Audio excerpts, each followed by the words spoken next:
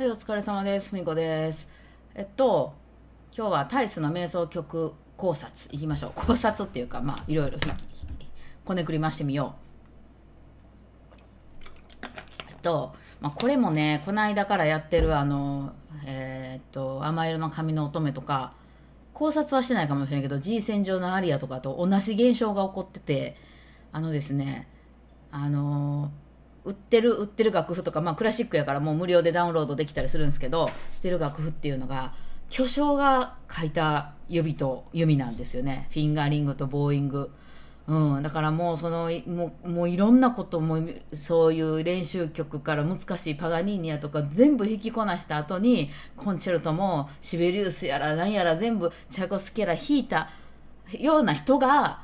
戻ってきたらあのこういう指になるやろうなっていう指が書いてあり、えー右手もねこっちも弓もね書いてあるんですよ。でいやもちろんそういうの回ってきた人はそれで行ったらいいと思うし、ね、回ってきた人はねいろんなパターン知ってはるから別に自分で好きに変えたりもできるしあの指とか弓とかいうのは好きにやっていいんでね。あのなんやろうなその演奏作曲者が指定してくること特に指とか弓はあんまりないんじゃない？そのバイオリニストがその G 線上ダリアで G 線で弾いてくださいとか、まあそういうことはある。うん、それはあるけど、指はここは3で弾け、1で弾けとか、あとそれからゆ弓もここはダウンで、ここはアップでとか言って、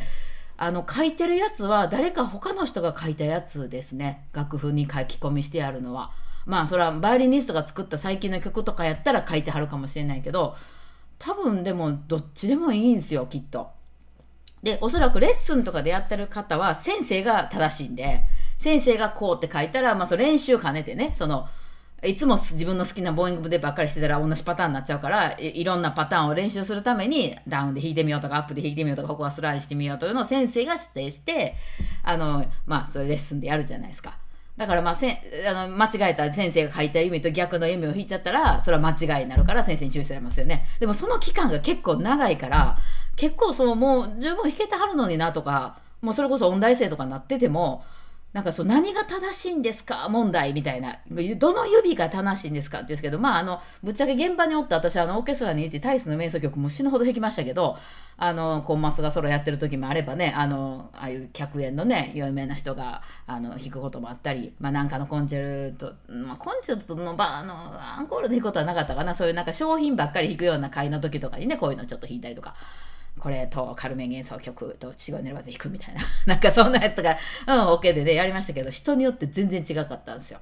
うん、あの、弓も、指もね。だからね、あの、どれが正解ってないんですよ。ただ、まあ、レッスン中の人は先生が言われたのが正解やから、あの、いや、私これで弾きたいってやってったらそれ違うよって言われます。うん、でもね、その期間が長いからね、結構それも弊害というか、あの、うん。で、先生もね、あの、先生はやっぱりそこまでやってきてるから、先生の中でこういう時はこうっていうのが、あ決まりがあるんですよ。まあ私がよく言ってるのは一拍目ダウンとか私はよく言うんですけど、まあそれも別に決めてるわけじゃなくて、あまあなんど迷ったらそうしたらっていう私は感じなんですけど、あの、先生によってはね、あの、なんかこう、同じ、なんかゲ威厳するときはあんまりスラーにせん方がええとか、まあそういう、そういう自分の中でね、それそれぞれの先生です。うん、決めてる。決めてたり、まあ先生もその先生から譲受けたもんやったりとかで、えーそれがこう正義みたいな、ジャスティスみたいなのがあるわけですよ。で、だからそれと全然違うようなボーイングをしたりすると、あの先生は何それとはなったりはしますね、確かに。特にあのジャンルが結構クラシックだけをやってはる先生っていうのは、あのまあ、なんとなく、あの、暗黙の了解でこうよね、みたいなのは確かにそれはあります。うん。ので、あのちょっとね、なんか、まあ、あまりにも自由にやってったら、ちょっと、え何それって言われたりはします。うん、ただ私とか結構そのカントリーとかねブルーグラスの方やったりジャズの方やったりしてたらもうブルーグラスとか全く逆なんですよね。もう見事に逆なんですよ。あの 手拍子するとこは逆やから。あのクラシックは1234って取るんですよ。だから1と3のとこが強くなるようなあのボーイングをあのつけることが多いですね。1をはっきり出すように。でもほら、ポップスの時って、1、2、3、4じゃないですか。みんな手拍子する裏でしょ？うん。昭和の人は多分頭やと思うけど。でしょ？ほんならその裏のこっちにダウン持っていくんですよね。だからもうま、まるまるで逆みたいな。ただそれでいろいろやっちゃうと、まあ結局はもう自分が好きなように、あの、だからそ、そう、それこそそういうこと考えて、その、ここではっきり音出したいなって思うとこをダウンに持っていくとか、まあ、なるべくあんまりシャキシャキせんとこうなあのつなげていきたいなっていうとこはスラーにするとかいうのはもう自分でだからなんでそういうふうにしてるのかっていうのを決めてあのやるしかないんですよ。でそのためにはあのそうだから正解ってなくて何が正解なんですかみたいなのはなんかレッスンしてるとまあ先生が正解になっちゃうんでなんかその間違ったことしたら怒られるみたいなんですけどまあそれそう大きく見たら間違いではなくてあの別に何やってもいいですよ。だって作曲者が指定してくれるとこってそんな少ないですよ。ゲーセンで弾きなさいとかその上上で取りなさいとかいうのはまあその G 線上のアリアは G 線で弾きましょうとかそういうことはあるけどその指はここは2で取りなさいとか書いてる人ほとんどおれへんのちゃうかな。あの、まあその、バイオリニストね、パガニーニとかやったりしたら、でもあれ、どうやろね、あの、元の楽譜に自分が書き込んだのか、大体書き込んであるっていうのは誰か他の、どっかの先生とかが書いてるやつなんで、かん誰々さん監修とか書いてあるんですけど、その何にもないと、まあ弾きにくいでしょっていうことで、その、まあピアノとかもそうやと思うんですけど、あの、指番号を書い書いて、あのとか弓を書いてくれているというでもそれは誰かがつけたもんであってそのおそらくその作曲者自体が書いてるやつとかって結構少ないんちゃうかなと思うんですよ。うん、だからまあこれはやらなあかんのかなみたいなもんだけ、うん、はちょっとかチェックしておいてうん、で、まあ、ほんでね、その、また、その、なんつうんですかね、その、ハイポジションとかいっぱい出てくるんですよね。まあ、まあ、ととりあえずなんか弾きましょうか。あの、よく楽譜、私これ、あの、インターネットでも、あの、あれは、クラシックはね、あの、無料でダウンロードできるんですけど、50年過ぎてるやつは。これダウンロードした版ですね。これに書いてある通りの指で書いてある通りの弓で、ちょっと引いたやつをここ挟んどきますね。ちょっと途中までにしときますけど。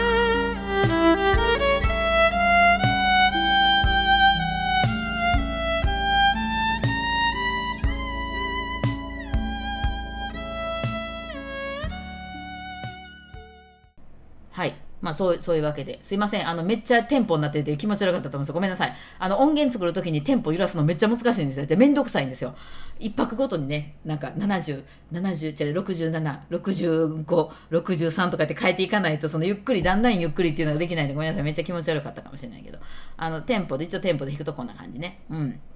あのえーとまあ、実際クラシックで弾く時はもっとピアノの外こうゆっくりしたり速くしたりっていうのはあります。この曲はね、うん。まあ、こんな感じになりました。結構上の方出てきて書いてある指の通りにね弾くと、うん、上の方出てきて。まあねここ難しい問題でねあの上で弾こうが下で弾こうが銅は銅っていうバイオリンってほらその銅同じ銅でもあっちこっちで弾けるからピアノみたいにここが銅ですってないからあの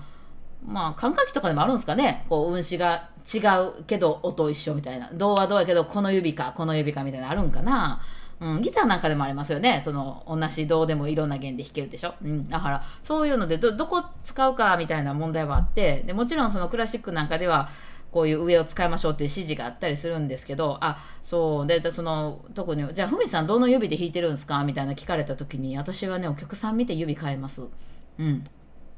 えなんでかっていうと、あのまあ、要はクラシックの人が「ようさん来てるな」っていうちゃんとしたこうリサイタルじゃないけどちょっとコンサートであの聞きに来てる人もクラシックのことをよくご存知やなっていう人の時はそのちゃんと書いてあるのを守って弾きます一応指定なんではい。あのクラシなんてクラシックのマナー的なことを分かってはる人ばっかりのあの会やったらちょっとこっちもちゃんとその言われた通りに弾きます。うん、いや例えばそのざわざわしたレストランで弾いてるとかバーで弾いてるとかなってきたらあのー、なんていうかねそそんな細かいとこまで見てる人もおらへんし、まあ、とにかくバイオリン、まあ、タイスに関してやったらあなんかこの曲知ってるわなんか聞こえてくるわぐらいなんですよ。ほんで、そこで例えばその難しいハイポジションとかを無理やり取ろうとして、ほんなら音程を崩すリあのリスクもものすごく上がるんですよね。やっぱり上の方で取ったりこうポジションが不安定な場所で取ったりすると。で、そんなことしてる、して音程狂ったら、なんや今日の姉ちゃん音程悪いなで終わるじゃないですか。私昔あの CD 屋でね、もう今 CD 屋ってないんでしょうけどね、あの CD 屋さんで、あのこうそれ昔はね YouTube とかなかったから CD 買ってたんですよ。あのオーケストラの新しい曲で知らん曲とか出てきたらねあの聞き聞きたいから。でそれねよく言ってたんですけどね。CD 屋でね買ってたらねめっちゃ下手なねドドボルザークのチェロのコンチェルトが流れてきたんですよ。で大体ああいうとこってめちゃめちゃ上手い人があれでするじゃないですか。の演奏がかかってるじゃないですか。今をときめく人。でえー、なんでこんな下手なの流すんやろ。なんかよっぽど巨匠かなんかかなと思って。でまあ CD 選んで。で結構なんかしつこくそなんかその感じの、あのー、人のそのなんか曲集みたいなのが流れてて。でまあ選んでレジに行ったら今かかってる CD とかなっててね。それコントラバスの人だったんですよ。まあちょっと有名なんとなく想像つくかもわかんないですけど有名な人でねコントラバスの人ですっごいうまい人いたんですよね。でその人の CD でただそのコントラバスの人がチェロの曲を弾いてるからもうずっとものすごいハイポジションなわけですよ。だからもちろん音程もすごい難しい。取るのめちゃめちゃ難しいしあのそれでもそのコントラバスやって分かってたら分かってる人やったらすごい話なんですよ。そのその CD は。さすがやなと。あのこれコントラバスでいくんや。すごいってなるんですけどそれ何も知らんと聞いてた人からしたら何この下手なチェロの人ってなっちゃうじゃないですか。分かんなかったら。なんか音程めっちゃずれてるし、なんか私の友達の方がよっぽどうまいけどな、みたいな、なんかね、なるから、だからその状態に、やっぱだからそういうことを分かってない人がいっぱいいる場所で弾く場合は、まあ例えば発表会なんかでもそうやと思うんですよ。まあ先生は分かってますよ。先生は分かってるけど、親戚の子とか自分の家族とか、音楽のことはそんな分かんないじゃないですか。まあ音楽一家の方やったらそんなことはないかもしれんけど、友達来てくれたりとかしても。そのタイスの瞑想曲のどの部分がどのゲーセンで弾かなあかん指示があるとか、そんなことわかんないじゃないですか。そやけど、そこはやっぱり頑張って上で取ろうとした結果、結構音程外れやすくなっちゃったりしてくるぐらいなら、私はそのバッチリ音程を合わせたのを、あの、もう100%これなら狂わないっていう方法で弾いた方が、私はね、うん、ええー、と思う。それは勉強になるとかそういう意味ではね、あの、もちろん。上取っていったらいつかはそれ本番望まんとあの弾けるようにはならへんとは思いますけどその今弾けるか弾けへんかそのなんて4回転ジャンプみたいな感じになってるんですよね。そのあの、まあ、ゴブゴブですみたいな、そこ取れるか取れないかゴブゴブですみたいなやつを本番に持っていくのってどうやねんって思うわけですよ。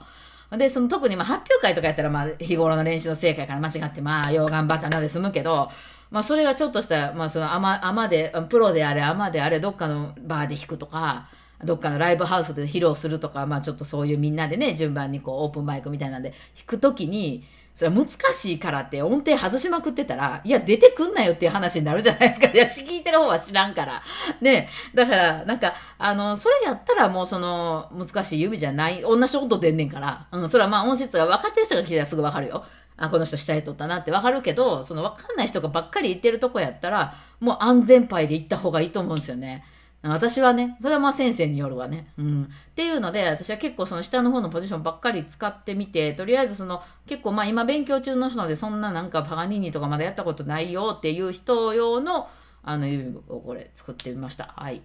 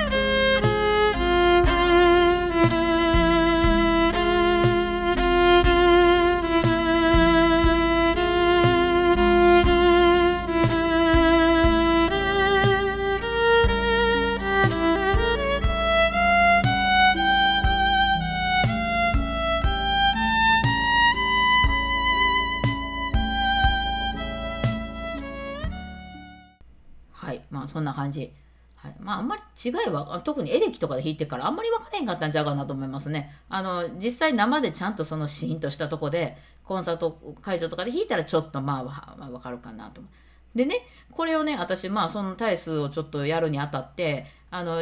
ちょっと YouTube とかでいろんな人の動画聞いとったんですよ。博士さんの聞いたりね、あの、みんな大好きマロさんの聞いたりね、結構出てたんで、古澤さんも出てたかな。で、まあもうちょっとクラシックの人も聞いとかな思って、いや、クラシックの人やけど、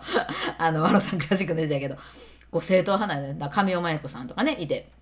で、そんな人の見てて、ほんで、見てたら面白いなって、あの、ボーイングをね、ちょっと映してみたんですよ、書いて。あの、ちょっと見えて。たからすいません。あの、この動画は多分ご本人が上げてるやつじゃないと思うから、なんかそのテレビ番組を流してあったりするやつやから、まあ、ひょっとして問題があったら、まあ、この動画も取り下げますけど、まあ、何の動画やとは言わないですけど、まあ、YouTube でそのタイスで検索して出てきたやつでね、えどういう指でどういう弓で。で指はやっぱねちょっとまあそ取った場所とかもあって見えなかったりしてたんですけどあのー、ボーイングをねちょっと4名分ね書いてみましたんでね。これねちょっとあのー、あそこにこあの楽譜屋さんで出しとこうかな。別に分からへん人から見たら何見ても見てもよく分からへんかもしれないんで、まあ、概要欄ちょっと見てくださいませ。はい。もうあれですよ。一番初めからして古澤さんアップスタートでしたからね。この曲ね。だからやっぱもういいんですよ、それで。で、古澤さんのボーイングは私はなんかジャズとかそういうことをやってるあの、やったらこういう風にしたいやろなっていう感じした。うん。なんか分かった。なるほどと思って。でもクラシックだけやってた人からしたら結構不思議なボーイングになってたかもしれないし、うん、でもそれでも全然ね、あの、てかクラシックとしてちゃんと弾いてはるので、すごいあの美しかったし、うん。あの、まあ、その、神尾さんとかがやってるボーイングはよくよく見る私たちが、まあ、あの、参考にしてるボーイングかな。クラシックの人がよく弾くやつかな。博士さんのまたちょっとちゃうかったかなっていう。うん、感じしてましたね。でも、4人とも全然違う。うん。だから、あの、同じじゃな、この人とこの人全く一緒とかなかったんで、指とかも結構ポジションどこで映るかとかももうほんまに違いましたね。うん、だからいいんやと思います。全然どれが正解とかないと思います。それはだから自分で決めるしかないというね。うん、でもどう決めていいか分からへんっていうんだったら、まあ参考に昔先生にこう言われたっていうことを守ったり、あの、まあ、例えばその小指が苦手やねん、私って言ったら小指を使わへんようにしたりとかいうのはそれ自分で決めたらいいと思うんですよ。うん、ただその先生に発表あのに言われたことを先生のレッスンで返すんじゃないんであれば何どうやって弾いても別に全然いいと思うんですよね。うん、っていう感じはねしました。だからまあなかなかあれかなと思って面白いかなと思ってあのいろいろねまあちょっとそれも出しておきます。そう。ほんでまあ恒例私のちょっとえっと行動をリなんていうのリハーモナイズっていうかな。行動をつけ直してちょっとこれ結構時間かかった。やっぱねクラシックって4小節ごとのフレーズじゃないね。でなんかこうとなんかこうそこ行かへんねやみたいなね。行動進行的になんかこう私行動進行あんま詳しくないけどまあこう来てこう来てこう来たらこうみたいな流れになれへんね。こう来てこう来てこう来てそう行かへんねやみたいな。なんかなんかすごいあって。あの何をつけたらいいか。これは私がもう完全に一からこうピアノ弾いてつけてる感じかな。うん。なんとなくこんなんでいいかな。ちょっとジャズっぽい感じの、テーマ的にはジャズっぽい感じにしようかなと思ったけど、リズムはでも、あの、ロックっぽくしたかな。ロックのシャッフルシャッフルってかなあの8分の12みたいな。あの3タタタタタタタタタタタタタタタみたいな感じのリズムのやつに乗してみたはいあそうやそうそうそれはまあ最後乗しときますけどあと一番最後の音問題ねタイスのうん一番最後の音がねこれ私オケ譜もちょっと確かめに行ってみたんやけどオーケストラの譜面とかのスコアとかもねダウンロードできるから確かめてみたんですけどねこのね例の場所にこうかあの何て言うんですかねあの獅子型のあのハーモニクスしてくださいっていうマークがついてるんですよね。多分これが多分原譜もそうなんかな。でそれをその例のとこにこれ出てる？あ出てない。よいしょ。例のとこにハーモニクスやから例の。えっとアーセンでこれを取るとラーがなるんですよ。まあありです。あのありです。これ派の人とん？どうしたん、うん、今度はみーちゃん。えー、次この例の場所って冷戦にもあるんですけど。ここか。ここのここの場所ね。ここを浮かして例で終わる派の人。どっちなんかな？クラシックやかやっぱ例かな。えっ、ー、とで行動的にはでで終わりかな。でもその電線で取ったらこの音やしこの書いてある通りにアー線で弾くとラ